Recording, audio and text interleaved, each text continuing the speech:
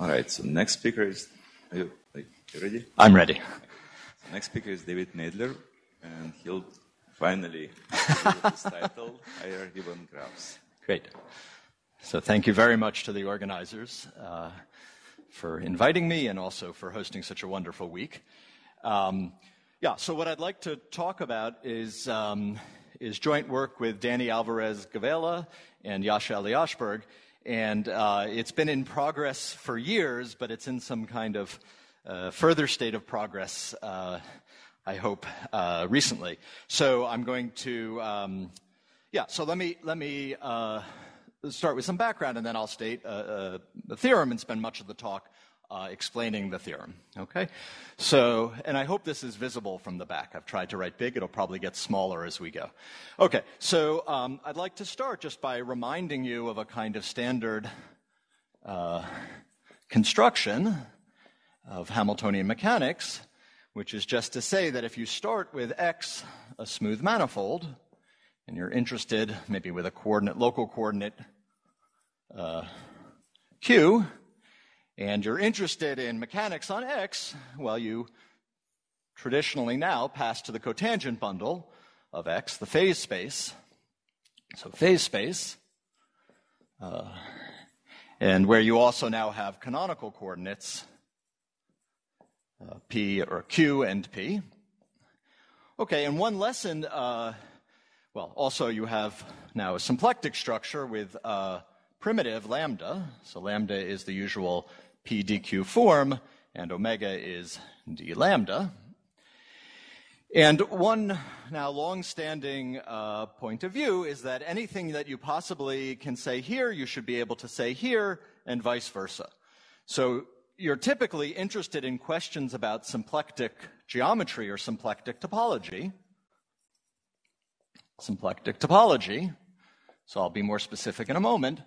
Um, but the, the point of view is that you hope or you expect, as far as we know, as far as far as I guess I know, uh, the symplectic topology of the cotangent bundle is equivalent to the algebraic topology of X itself. Okay. And this gives you a means, you can look at this as a means to make calculations here in terms of more traditional objects here. Um, so let me just, uh, as an example of this, kind of well known example, so um, let's think of the, uh, of the A model. Maybe I should, let me just continue here. So, uh, is there an eraser? Ah.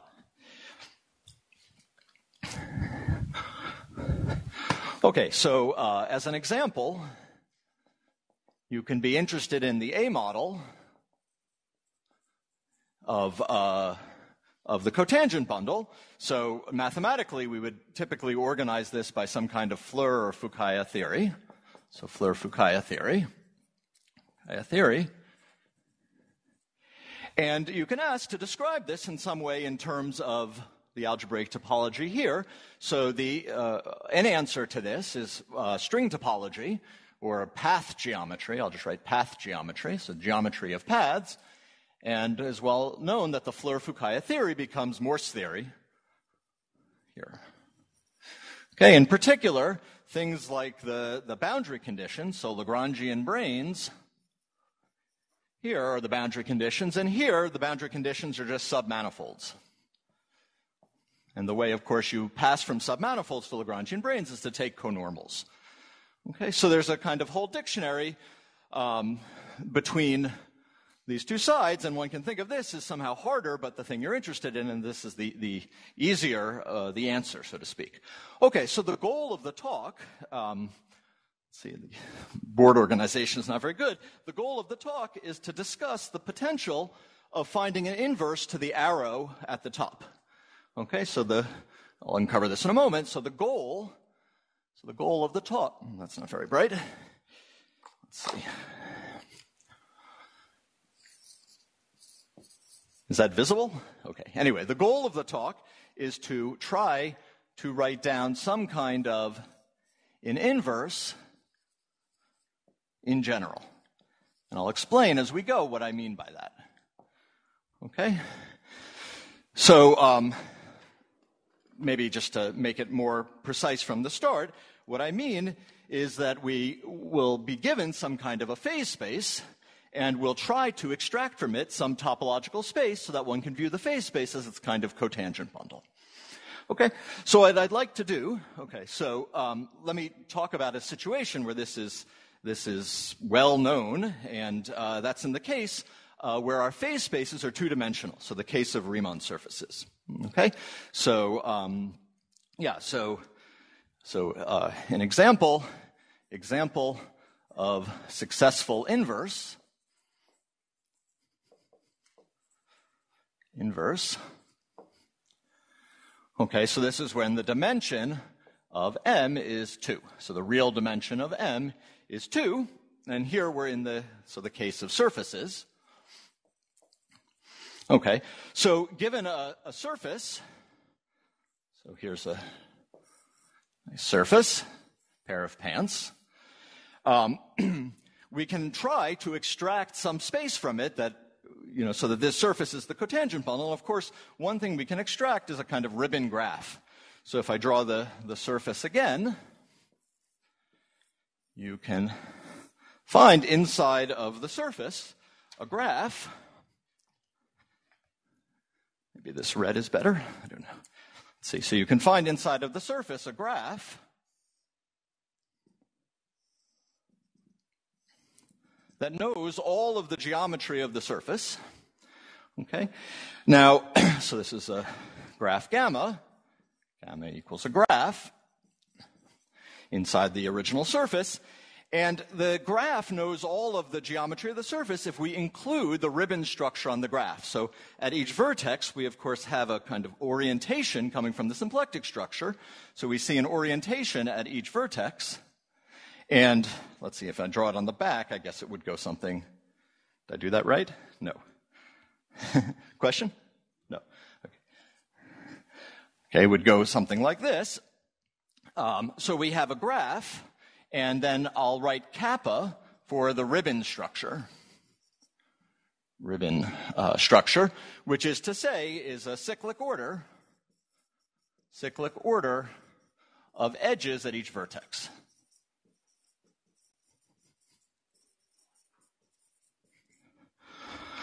Okay, and it's well known that one can reconstruct the Riemann surface from the graph just by thickening it. Okay, but I'd like to emphasize um, a kind of, uh, you know, computation that one can make also if we go back to the A model, where we said that, okay, here the A model can be completely described in terms of something about path geometry on X.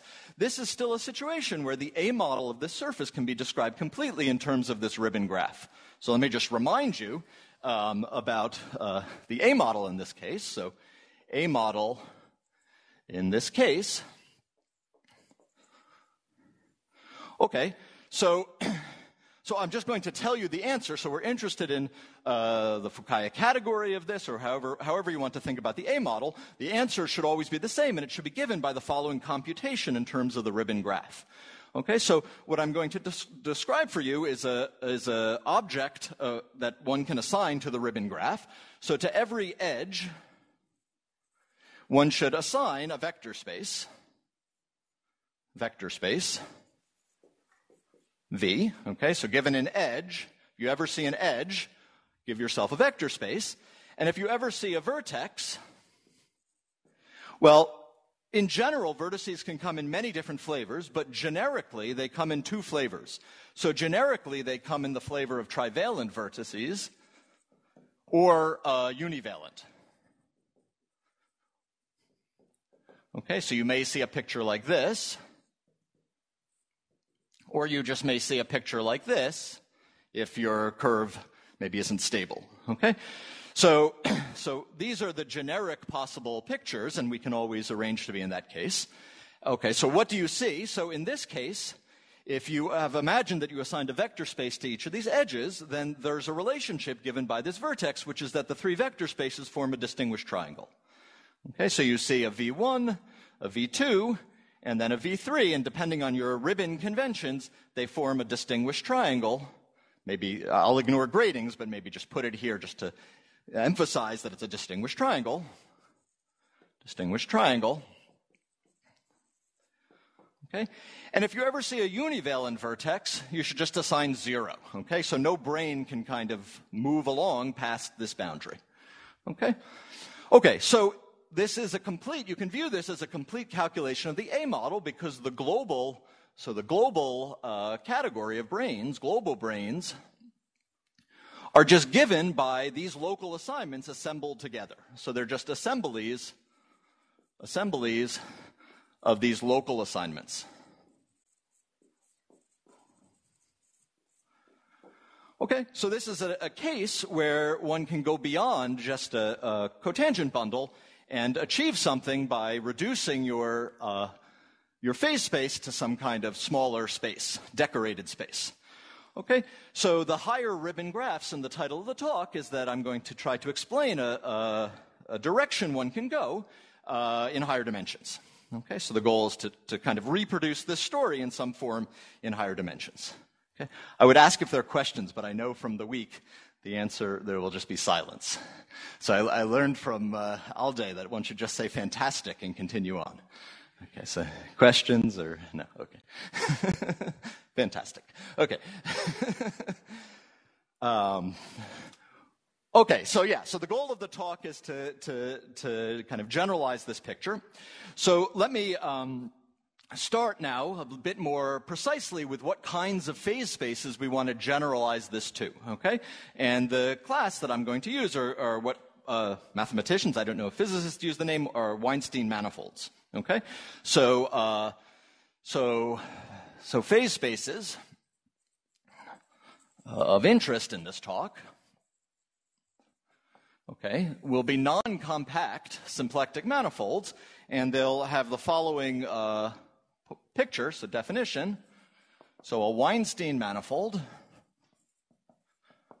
Weinstein manifold is a manifold W together with a one form lambda, so the symplectic form, so that's the, the end of the definition. There will be various properties we'll insist on. The, um, the symplectic form is d lambda, Okay, so this is symplectic, so it's an exact symplectic manifold, but it should have some further properties. So let me draw a picture and then we'll fill in what the further properties should be. So first, it, it should be compact in one direction, but as you expand the geometry, it should have a conic end. Okay, so there's some interesting topology happening up to some point, and then after that point, it has a conic end. Okay?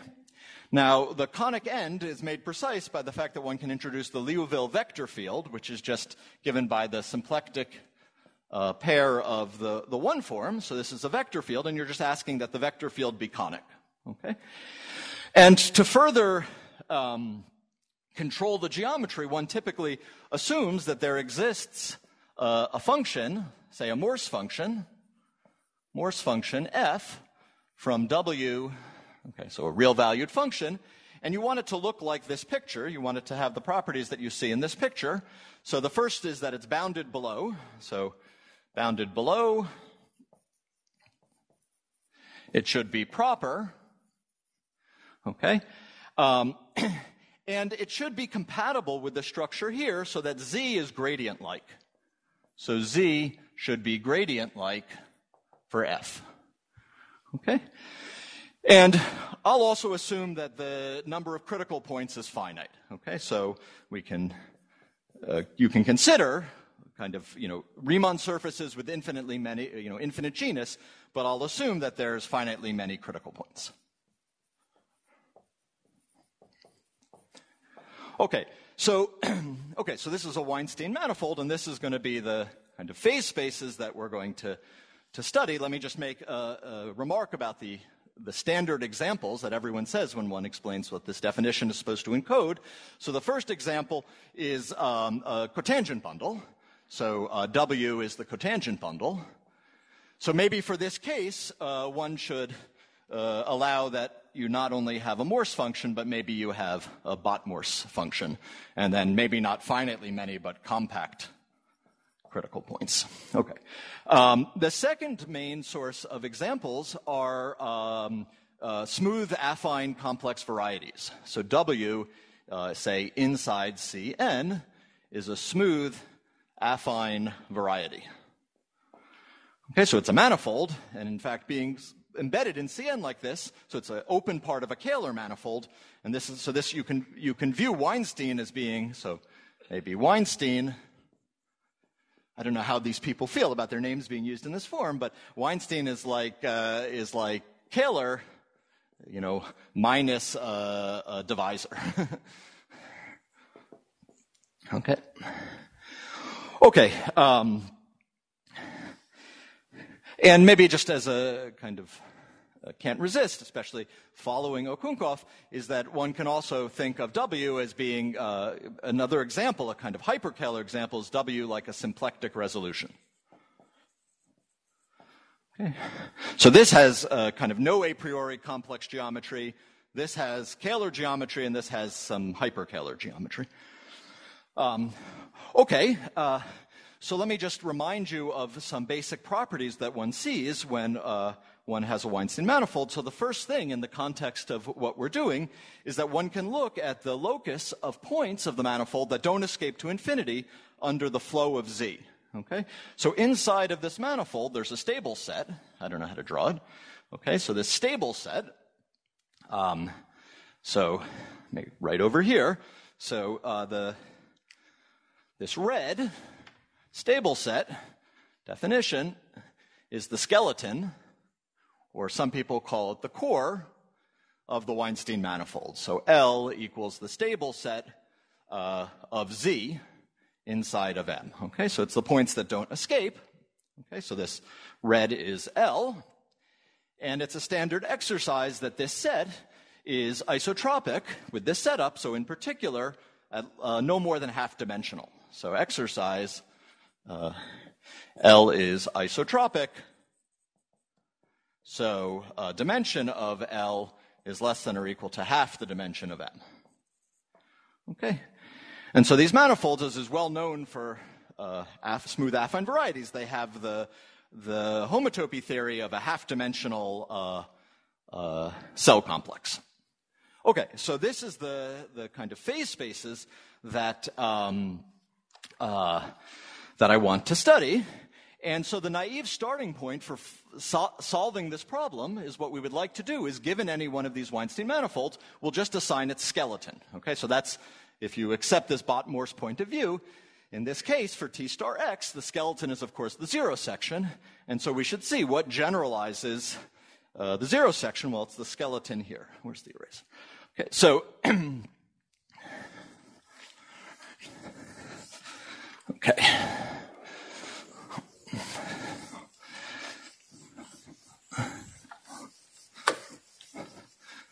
Okay, so a naive starting point, as I said, is to take a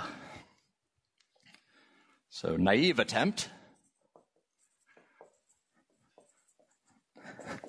at our goal is we start with W lambda, a Weinstein manifold, and what we assign to it is its skeleton. So L, the skeleton. Okay, so this is a nice topological space that we can try to study, and maybe, so I don't know whether I should say the, the good news or the bad. So let me, let me do the good news first, and then, and then the, the, the bad news. Okay, so the good news, the good news is this is often beautiful. I mean, it's often uh, beautiful and solves the problem.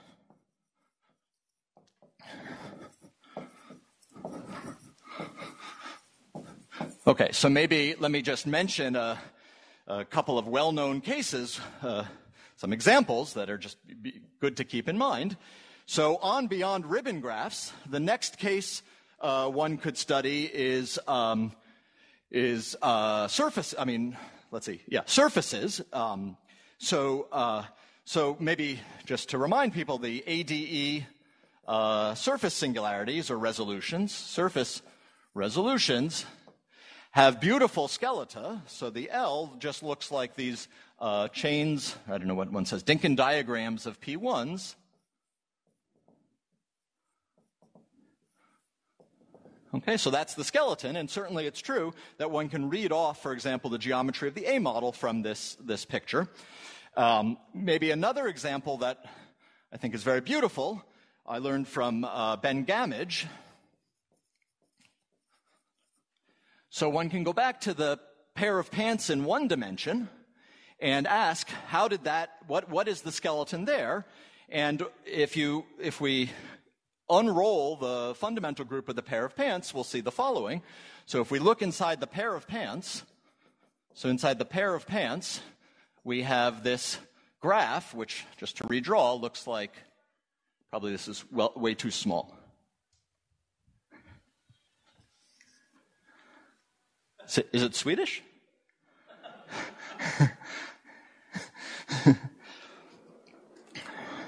okay, so let me let me draw uh, tr- try to explain what I was going to say here. So, so the the um, inside the pair of pants we have this this beautiful skeleton, this kind of ribbon graph, and one way you can get this. So this equals the following beautiful picture. You can tessellate the um, the plane by hexagons. Okay, and then divide out by translations. Okay, and then divide out by, by there's a z mod 2, a z squared of translations, and you'll get exactly this graph. And what you will find, in fact, what, what Ben explains, in higher dimensions, so one can write down a higher dimensional pair of pants. So uh, in higher dimensions, higher dimensions, the skeleton, there's a natural skeleton of the pair of pants is given by you take, instead of the hexagon, you take a permutohedron tiling and divide out by lattice symmetries. So it's the permutohedron tiling, hedron tiling, divide out by translations. Okay, so these are the situations where there's kind of, in my mind, there's kind of nothing, there's no real question. You, you, you're very happy with the skeleton. It's, uh, it's its own beautiful object. But uh, in general, the skeleton will be quite uh, complicated. So I'd like to just t- uh, take a moment to convince you that in general, the skeleton as presented just uh, here won't be something that you can get very far with. Okay? Okay, so.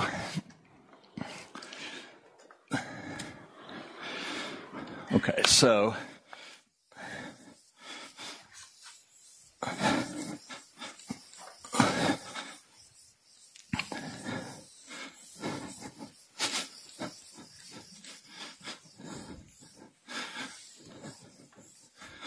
Okay, so um, so the bad news, bad news is that there's kind of two bad newses that come together. I mean, that are kind of maybe two, two sides of the same thing. The bad news is that the skeleton can be very complicated, or in fact, it can be a very poor shadow of the symplectic geometry. Okay? So the bad news is the uh, skeleton can be uh, horribly singular, so very complicated, and not a good shadow, and not good. Uh, shadow or uh, not good memory of the symplectic manifold. Maybe, maybe shadow is better. I didn't mean it was like doesn't fondly remember the symplectic manifold. Okay, so not a good shadow. So I'd like to just uh, give you a class of examples that are good to think about. So, so from this kind of definition of a Weinstein manifold, it's tuned to handle attachments. So one should think that one builds a Weinstein manifold by attaching cells. And uh, first thing one starts with in 2n dimension 2n is a ball. So an open ball uh, in 2n dimensions, okay, with, a, say, a standard uh, conic uh, Liouville form. And then one draws inside the boundary some Legendrian sphere.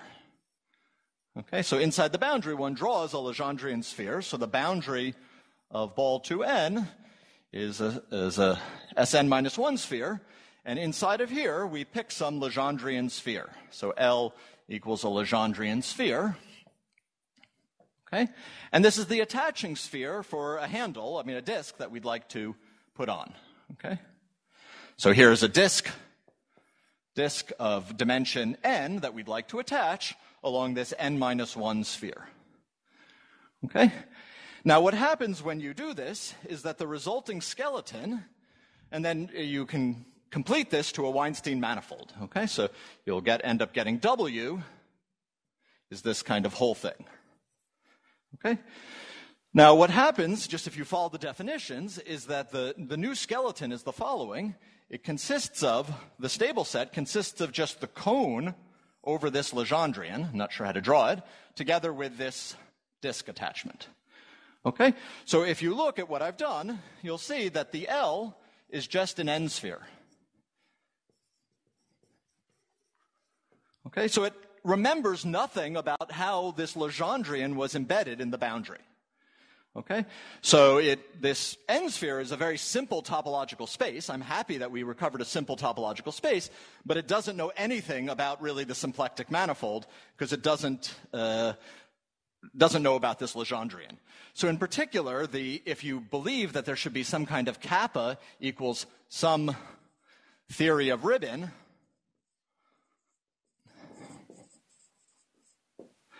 then this kappa will have to be extremely complicated. It can't be like some kind of nice locally constant discrete structure because it's going to have to encode all possible Legendrian uh, spheres. So is is going to be uh, is going to be incredibly complicated. So in some sense, you won't have accomplished anything if you do this you will have said, okay, my symplectic manifolds of this type are n spheres, and they come equipped with something called kappa, which is incredibly complicated. Uh, okay, so okay, so now I want to um, state a theorem, uh, and then spend the rest of the talk uh, explaining the theorem.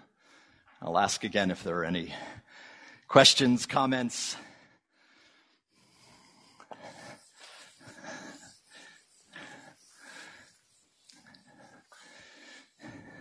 Okay, so um, the theorem is not yet, has not yet appeared, uh, but it's in joint work with Danny and Yasha, and I hope it will appear soon.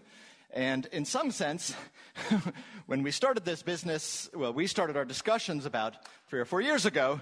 The theorem I'm going to state, I'm not supposed to tell you this, the theorem I'm going to state was what we used to call the trivial case. Okay, so, uh, anyway, so, okay, so, um, so the idea, let me tell you the idea and then the theorem. So the idea, so how are we going to do better than this kind of picture?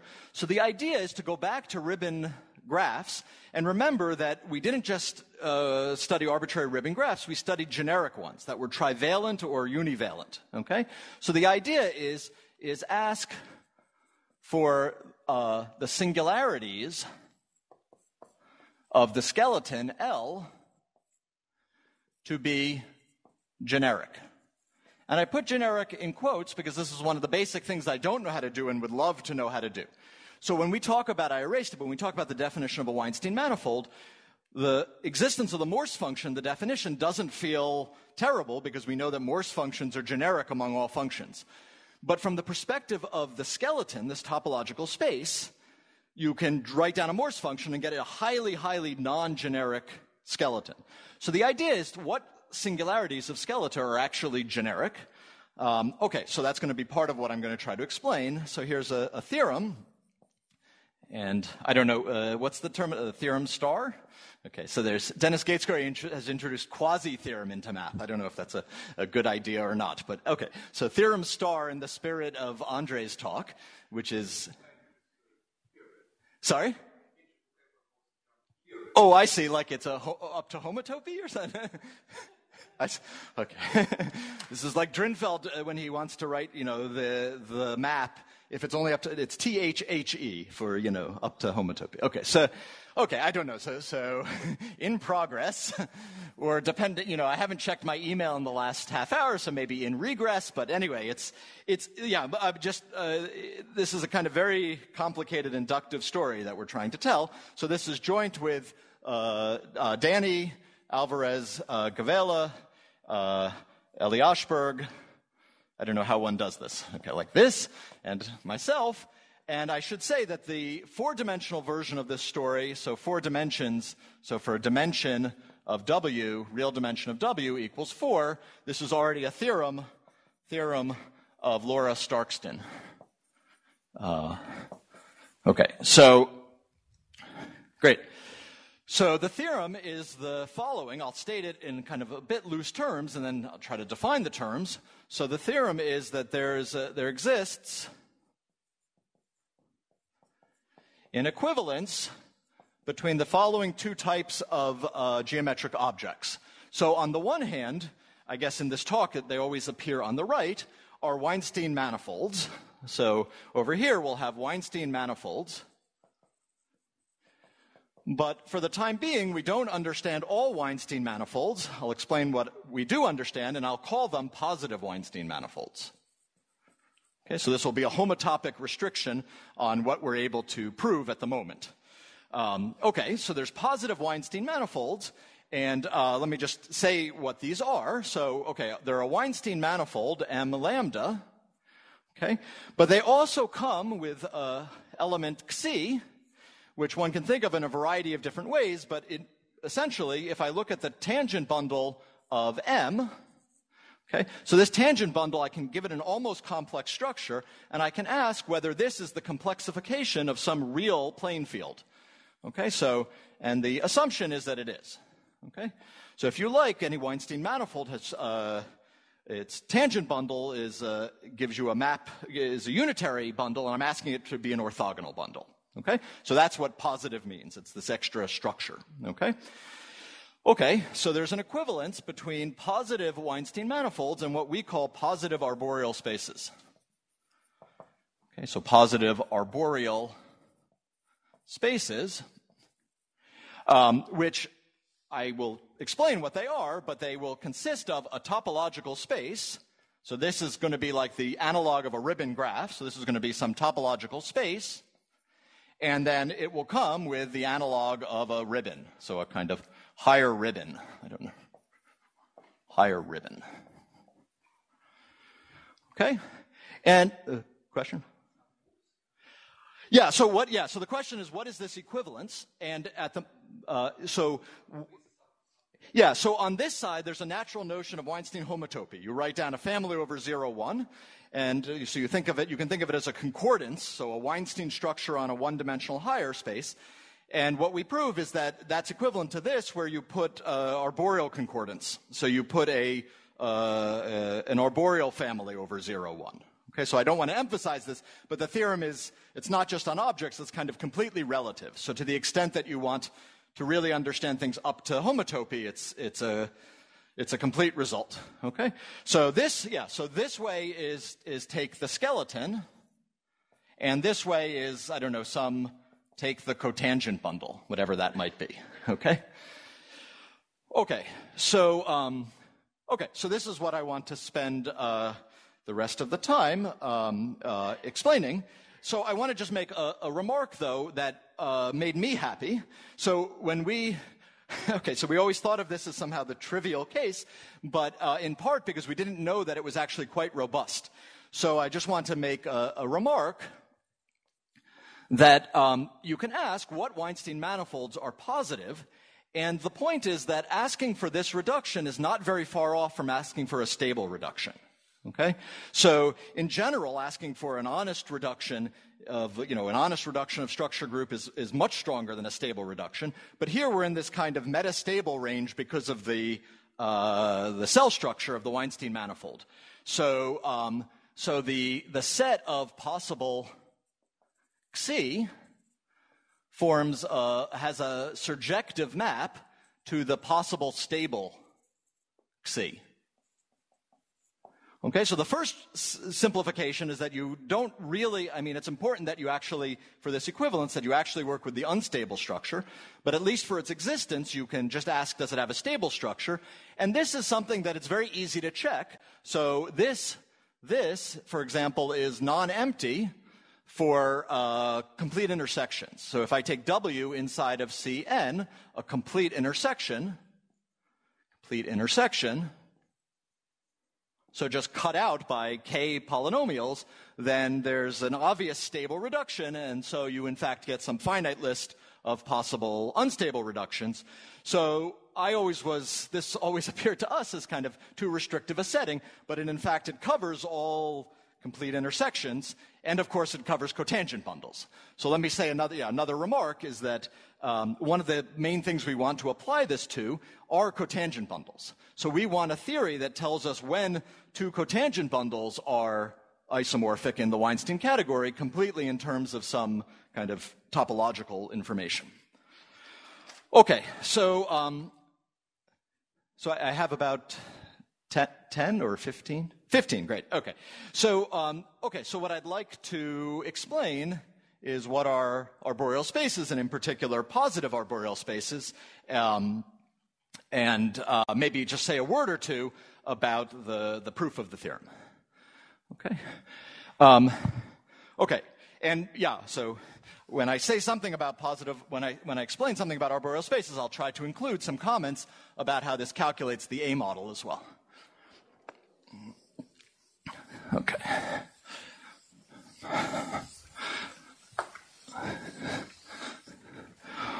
Okay, so um, so the let me just say the first before I tell you the definition of arboreal spaces, let me tell you the idea.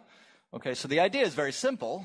The idea is we want to blow up our skeleton at a singular point. Okay, so the idea is that we want to blow up uh, the skeleton uh, skeleton at the singular point. And of course, there's a natural notion of blow up in symplectic geometry. If you give yourself a symplectic manifold and say a point, you can blow up the point, but uh, I don't know whether it's a feature or a bug, it changes the symplectic manifold. So a key point here is that we want to blow up the skeleton, but keep the same symplectic manifold.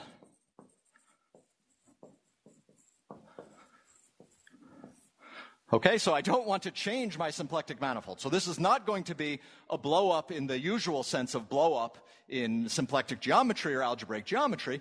So let me draw a picture, a kind of uh, uh, example, or just a cartoon of what we mean. So let's go back to this example here.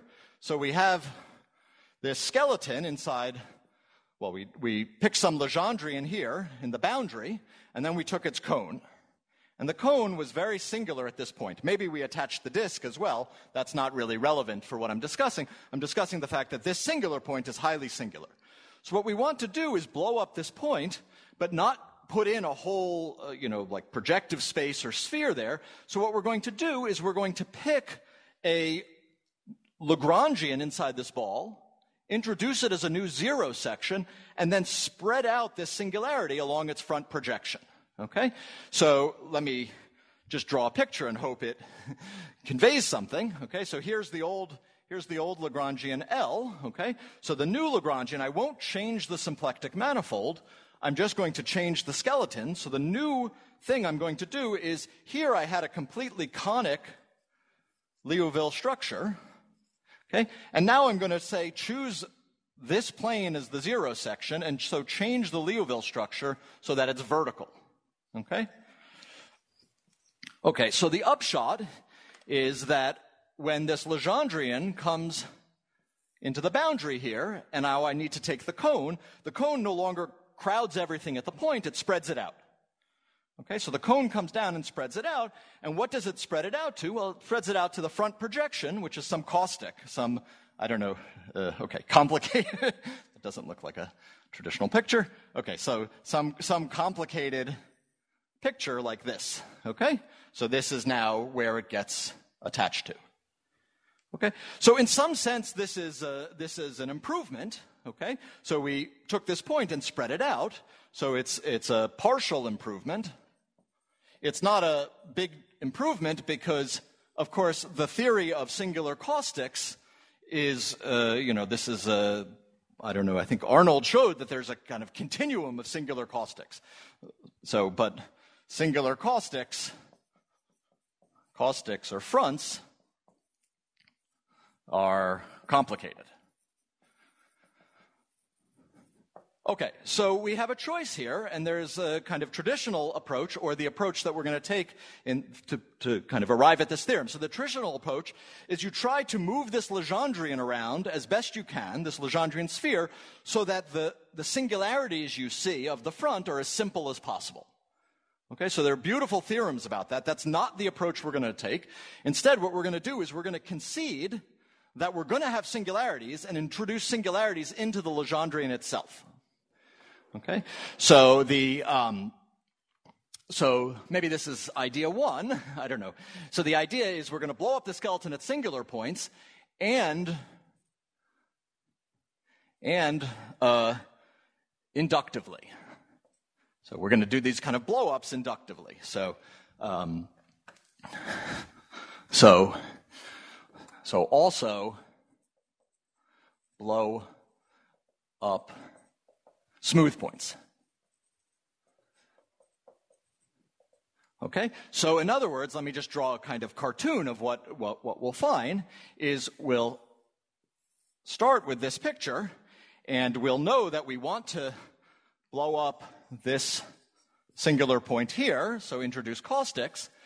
Now, in general, we can't move this sphere in any way so that there won't be singularities, so we're going to accept singularities and rather move the sphere to being itself some singular complex. Okay, so we're going to move the sphere, I'll explain what it looks like, into some singular position. Okay, so if this sphere is L, this will be L tilde. Okay, and this disk is itself going to be some kind of a singular object. I don't know how to draw it, but it's going to be kind of uh, e- equivalent to the original disk. But now what we're going to have accomplished is that the singularities, the caustics here, are not going to have any new singularities. Okay? So the singularities of the caustics won't get worse and worse. Okay? So we're going to try to improve the Legendrians so that the caustics don't kind of propagate through the story. Okay? So, all right, so I don't know if that's either visible or uh, understandable, but let me now make a formal definition and, um, okay. And I hope it'll become apparent what I was saying at least. Oh, maybe I shouldn't erase this. Okay.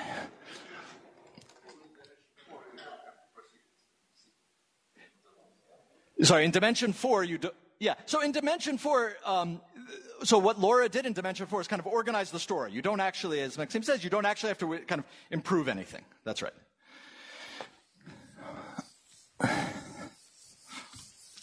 Okay, so okay, so now definition of arboreal. So uh, there are many different definitions. This is one way that I think you know you're uh, thinking about something worth thinking about. Um, so let me today give a kind of inductive inductive definition or characterization. Okay, so there's a kind of one fell swoop uh, definition, but let me just give an inductive one. Okay, so these are going to be local models for topological spaces, and in particular for Lagrangians. Okay, so the base case uh, you could take dimension negative 1, but let's take dimension equals 0. So then the base case is just a point. So L equals a point inside the cotangent bundle of a point, which is W. Okay. Okay, the second axiom is stabilization.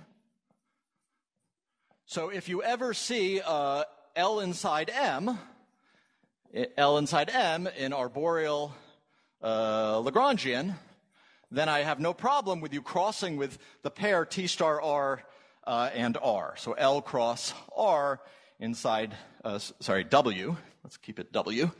Inside uh, uh W cross T star R is again an arboreal Lagrangian. Okay. And now the key one is what do we want to do when we, what do we need to say when we get to cones? And the point is so, well, here's the following. So, cones. So, what we want to do is insist that we don't have any singularities of our caustics that we haven't seen before. So, um, so let's say L inside W is arboreal, is an arboreal Lagrangian.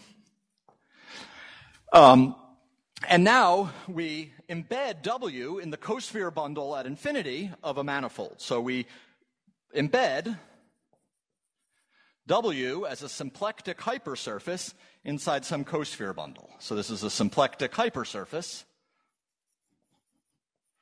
So codimension one symplectic embedding into this contact manifold. Okay? So then L is now here, and we can ask about the, the front projection. Okay? So, um, so let's assume, so if uh, L is uh, transverse, so this under this embedding is transverse to the vertical polarization. So this, this has a sphere uh, Lagrangian polarization. So anytime I, I look at a cotangent bundle or its cosphere bundle, I see these Lagrangian or Legendrian fibers. So this is S star X, this is X, okay? And what I'm asking is whatever I had before, I want it, so let's just say it, that under this assumption, it implies that the cone of L together with the zero section is now again an arboreal Lagrangian. Okay. So there's maybe one other thing I need to say is that I want it to be in gen- general position. So let me just write general position. Okay, so the picture, let me just draw an example and a non example. Okay, so, so here are two uh, pictures of the same space. So, what we typically see when we have caustics are our Legendrians are embedded like this, and there'll be singularities of these, these projections, or maybe I should, if this is the cosphere bundle, I should draw this in this dimension. And so what I'll see is a new singularity given by that tangency. But what we can ask for instead is to allow singularities, allow this to have a ribbon graph structure. Maybe it looks like a line, and then it has a spike coming off it in this direction, and so on. Okay? But each of these pieces is still transverse to the foliation. Okay? So you can imagine that I could replace this parabola with some kind of collection of lines and still capture the geometry but have it be transverse. And then what I'll see here is kind of no worse than what I saw up there. Okay? So there's a spike coming off of a line. Okay? So the point is, in general, the singularities propagate and get worse and worse, but with this assumption, we're essentially saying taking cones should not introduce any more singularities than you already had before. Okay, so I have two minutes or no? Okay, so um, so let me just say a word or two in uh, closing about uh, some of the nice properties of these singularities. I won't have a chance to say much about, I mean, say anything about the proof of the theorem.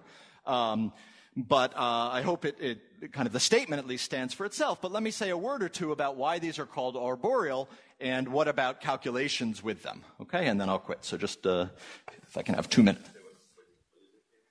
Ah, let me say uh, what. Yeah, so let me. okay, yeah, there's too much to say. So positive. Okay, so this is the definition of arboreal. And then inside of this class, every time you make projections, you will find some quadratic forms.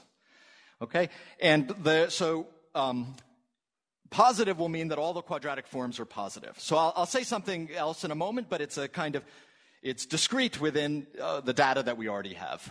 Okay. Uh, yeah, sorry, that's not satisfying, but uh, okay. So let me just say some nice facts. Nice facts about arboreal Lagrangians. Uh, and then I'll, I'll, finish. So the first is you can ask, where does the name come from? And the answer is that if you look at the local models that come out of this, they're indexed by uh, rooted trees. So the local models are indexed by rooted trees.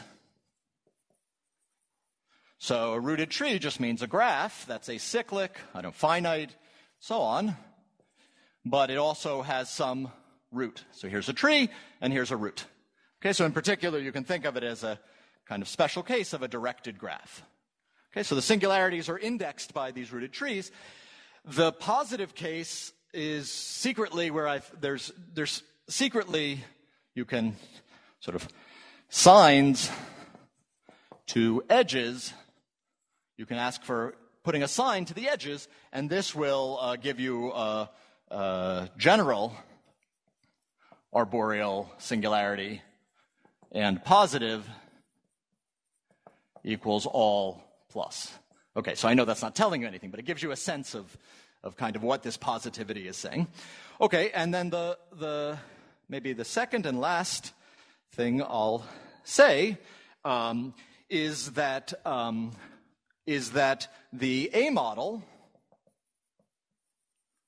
of W. So if I give you a Weinstein manifold, and I, let's say it has a skeleton LT, which itself is just one of these local models. So you can think of this as the local A model near one of these arboreal singularities. Uh, so the local A model is just the same thing as modules over the tree T with this, these arrows. Okay? So this tells you that uh, to calculate the entire uh, A model, at least for these positive Weinstein manifolds, you will be able to, by the theorem, choose a positive arboreal skeleton, and then the local A model is completely calculated, and now you will just take assemblies of these, these kind of local categories. Okay, there's lots I'd like to say, but I think it's time. Thank you very much.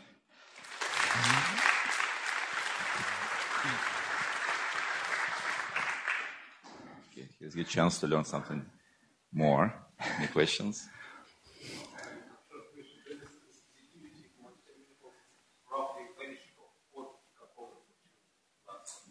Yeah, so that's right. I mean, it, Could you repeat it the essentially comes down to a stable calculation. So that's right. What was the question? Uh, so the question was, is this positivity for Weinstein manifold vanishing of uh, Chern classes? And my comment, maybe you heard, was that you know up to this kind of lift to a stable structure, uh, unstable structure, it's it's uh, yeah, I just confirmed.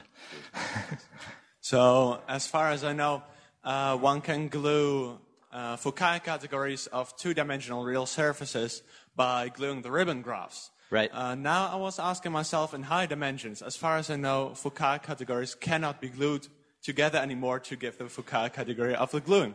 But uh, maybe still one can glue uh, these higher ribbon graphs.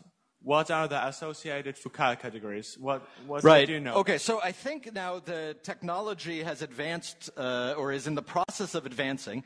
So there are. Um, there is a work in progress of Vivek Shende and his collaborators that will, that will explain that Fukaya categories of Weinstein manifolds can be glued, and um, it will all be compatible with this. So, on the one hand, you can decide to now go and calculate using this, and you can blame me if you ever go wrong. I mean, if you get different answers, I claim you won't. Uh, and their theorem will also confirm that eventually. So we'll confirm the claim that you won't get different answers. Yeah, thanks. Okay. Oh, here is There's a- oh. yes. Is that a question or yeah? No, no, here. Okay. Can I- All right. That, that ends the question session. Okay, we have a, let's thank David again. Thanks.